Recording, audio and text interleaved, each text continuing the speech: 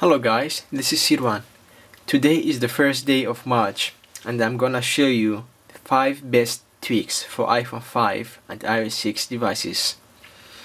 And do not forget to watch my previous videos regarding to this topic but for previous months. Let's begin. The first tweak is Active Dock. Active Dock is a tweak that lets you to know which apps on dock on your iPhone are currently running. Okay, what I mean is this tiny light underneath each app on dock. As you see, music is does not running. Why? Because there is no light. But if you tap music and come back, you can see the light. If you kill the app, the light is gone. You know. It's easy. It's nice to have this tweak and you can disable this tweak in settings.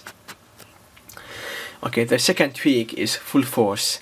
Guys, do you remember last last month I was talking about the tweak screen extender which uh, it was for those apps which are not running on your iPhone 5 it means they does they don't support your iPhone 5 screens and the problem was uh, it asks you for respring or reboot your devices after applying this mode. But with this tweak, FullForce, you don't need to reboot or respring your iPhone after applying this toll mode. I'll show an example now. Go to settings, find FullForce here, and just turn on apps like, wait, I'm, I'm gonna turn on the game, Expl explain, okay? and then go back go back to the game where is it? This. Look. Now it's full screen okay?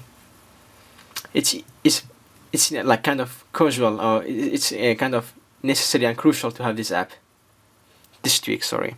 Okay. Okay guys the third tweak is Kamera. It's for notification notification center. Kamera is a tweak that lets you access rear camera and front camera in a, just in a few seconds. For, uh, for example, you're in an app, something happens, you want to take a picture, you don't have to go back to home screen, then find camera. Just type notification center and type on one of them. Now I'm testing front camera, uh, rear camera. Yeah, it's, it's pretty easy, okay? And just tap cancel. The first tweak is lively icons. This is a fun tweak to have, okay? When you download this tweak, go to settings, find lively icons, and just enable, okay? And I'll just show you an example now. What it is, I mean, when you tap an icon, it gives you a kind of animation before opening the app. Like, for example, let's open music. You can see the music is just swept around our settings like this. It's fun to have let's change to something else change to there's lots of more to do you know you can choose whatever you like. Let's open broadcast like this. Let's open settings like this okay?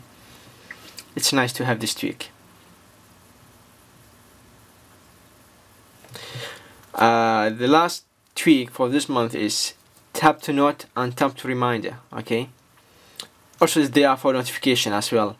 When you drag notification you can see two other uh, models two uh, widgets. One is tap to note and one is tap to remind. Sometimes uh, you need uh, to, to write a note when you are when you maybe sometimes you remind something and you want to add to your notes but you, you don't need to leave the app. Just drag notif sub notification down and tap to note write something and just say add. Go back to not notes. Here. Same for reminder. Oops sorry guys. Tap to remind and remind something and set alarm that's all. It's easy to have. Okay guys. Uh, this is the best tweaks for this month as I tested them and I'm really happy with them. And if you have any concerns and problems just let me know and can you let me what's your favorite tweaks thank you for watching and don't forget to like and subscribe for more videos. Thank you.